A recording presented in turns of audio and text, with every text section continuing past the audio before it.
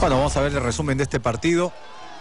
Donde Cinciano nos parece fue más desde el primer minuto, buscando el arco de la San Martín, ahogándolo, presionándolo. Es aquí cuando viene el primer gol de la, gente de Cinciano. Lo buscó por arriba, lo encontró por abajo Clifford Seminario. Buen pase a Clifford Seminario en diagonal. Y este de media vuelta sorprendiendo a Leao Butrón. Era más Cinciano. Esta es la expulsión de, de Penalío, ¿no? Fuerte, abajo. Tenía tarjeta amarilla. Abajo, mira cómo va. A la rodilla del jugador de, de la San Martín. Y es tarjeta, tarjeta roja para Penalío.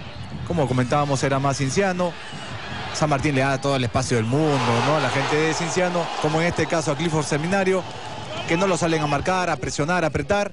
Se toma todo el tiempo del mundo, Clifford Seminario, controla el balón, decide, ve dónde poner, se la coloca al lado izquierdo de Leao Butrón, que no tiene nada que hacer. Buen triunfo de Cinciano. Así es, Flavio. Nosotros ponemos punto